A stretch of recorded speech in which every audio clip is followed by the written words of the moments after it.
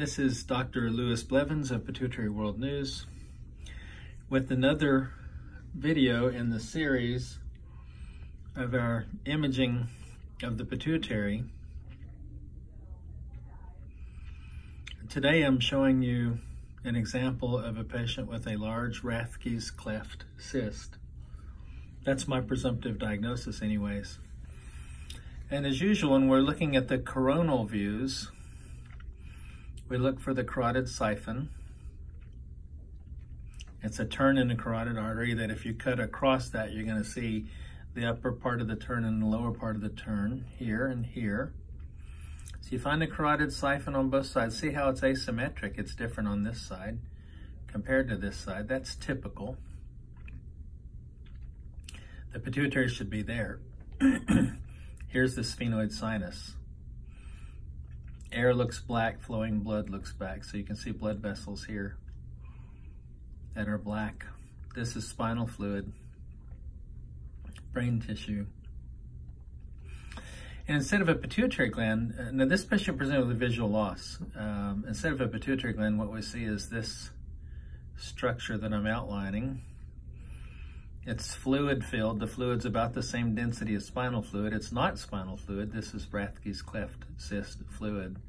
And you can see this cyst fills the entire sella, which is here, and extends suprasellarly, which means above the sella, and has this little tiny enhancing hat on the top. This little hat is what's left of the patient's pituitary gland maybe a little bit over here, but the pituitary is thinned and elevated by this cyst. Here's pituitary as well.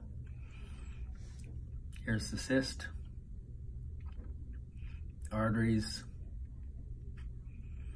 You can see a little piece of tissue here and a little piece of tissue here. These are the optic nerves.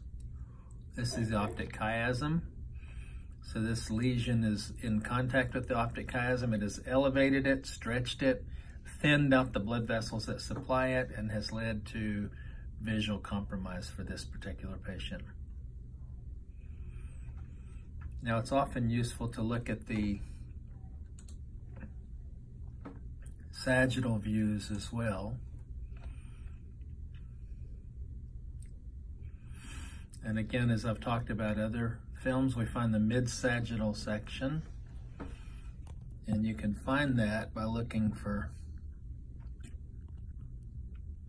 the cerebral aqueduct of Sylvius, which is here, fourth ventricle. This is the inside of the third ventricle. This is the interpeduncular cistern, some of the suprasellar cisterns of spinal fluid. Here's the sphenoid sinus, and here's the sella, which is deformed by this structure that I'm outlining. And you can see here it's a cyst. This is the normal pituitary shoved upwards, maybe a little bit of it down here as well. This is certainly the pituitary stalk. This may be the gland here, and this may be the stalk enhancing here. It's hard to say. Surgeon will know when he gets in there. This patient also had uh, absence of pituitary function as a result of this lesion. Now, I call this a Rathke's cleft cyst. That's the most likely diagnosis. It may be an arachnoid cyst, which is a little bit of a different entity. The arachnoid membranes are the membranes that surround the brain and can also uh, in, invaginate into the sella and cause a similar finding.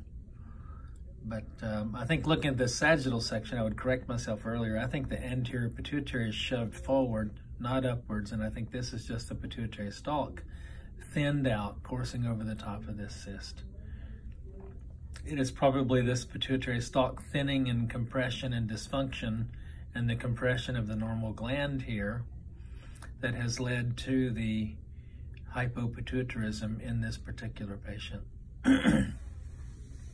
so I'll call this a Rathke's cleft cyst. I think it's a very good example of a cyst that uh, has enlarged to become suprasellar and to cause problems with hormone secretion.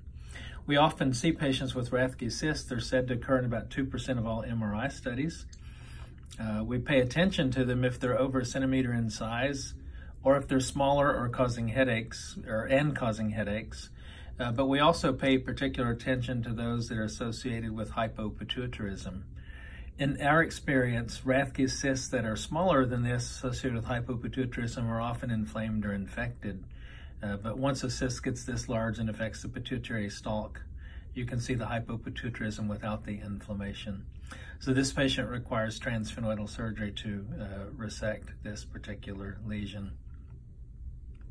All right, once again, Dr. Lewis Blevins uh, with a great example of a Rathke's cleft cyst that has extended into the suprasellar region, causing visual compromise and also causing hypopituitarism.